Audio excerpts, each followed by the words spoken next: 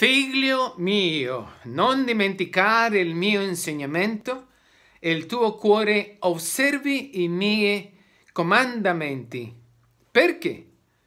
Ti procureranno lunghi giorni, anni di vita e di prosperità.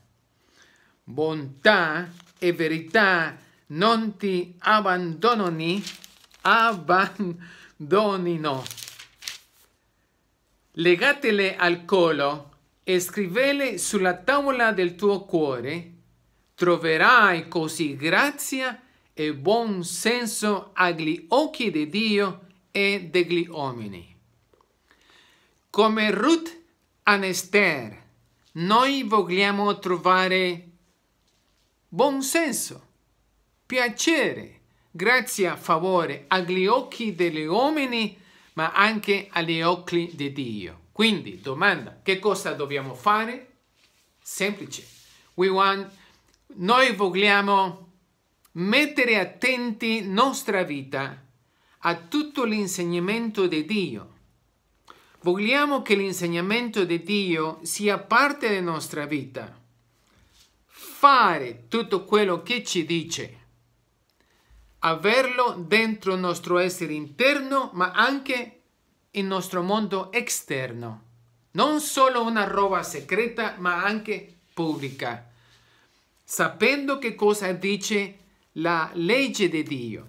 Se noi facciamo questo, qui i proverbi ci parla che quando noi avremo una crisi, un problema, una situazione difficile, noi troveremo, dice qui, bontà e verità non ci abbandoneranno. Loro saranno parte di noi. E spero, prego, che voi avete, legge, avete, le, eh, avete letto il libro di Ruth Anester.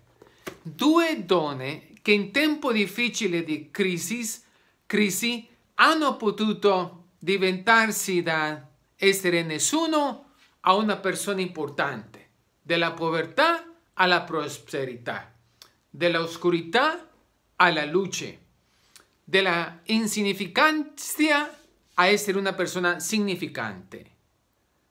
Hanno fatto un salto grande nella loro vita.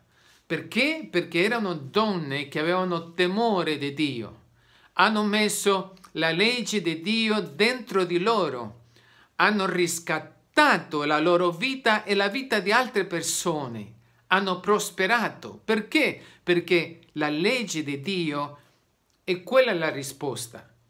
Se io faccio questo, è ovvio che io troverò grazia, favore agli occhi di Dio. E se io trovo grazia, favore agli occhi di Dio, chi può essere contro di me?